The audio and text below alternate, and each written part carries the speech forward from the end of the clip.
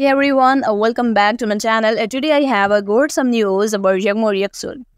She recently said I kicked him out of my life. as someone I don't uh, trust has no place in my life. For all the details, stay tuned uh, to this video. Before we get uh, started, uh, don't forget to subscribe to my channel, turn on notifications and hit the like button.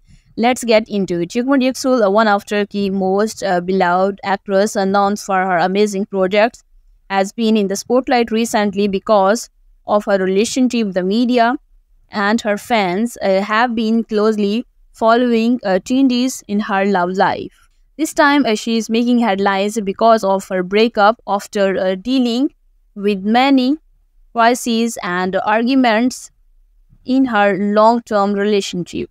Yağmur decided to end things. She announced uh, her breakup with an emotional message on social media.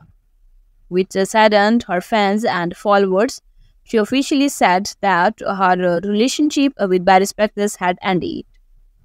Citing trust issues, someone I don't trust has no place in my life, she explained.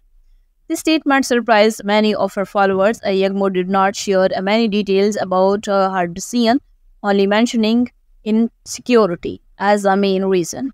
Her choice to keep her private life a private catch the media's attention to.